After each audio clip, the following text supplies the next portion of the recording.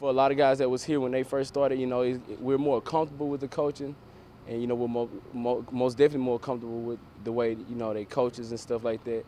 And you know, we're not learning a different, a new defense, not new offense. It's the same thing we've been running since last year. So it's it's just basically just growing and stuff like that.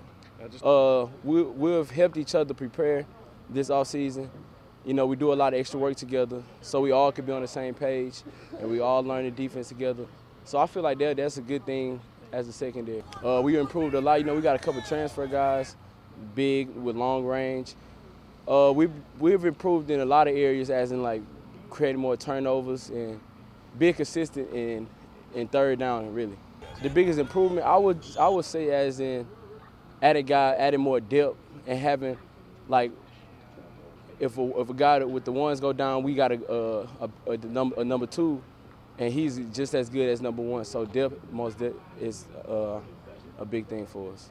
I think the the relationship we have with our coaches and being able to talk to them and then being able to, to talk to us uh, just on on a personal level has has made us really want to play for them.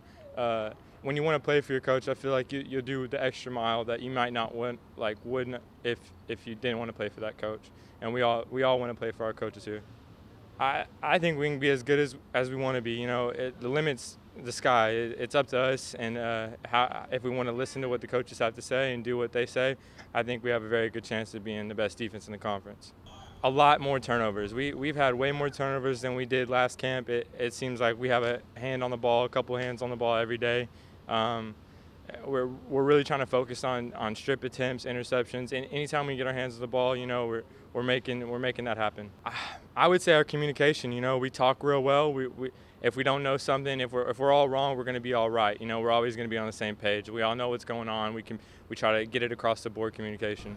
Again, like I said in the beginning, I think it's maturity. I think we're, we're smarter. We, we, we understand the game better. We understand what we're trying to do as a defense and where everyone fits, uh, whether that's run or pass schemes.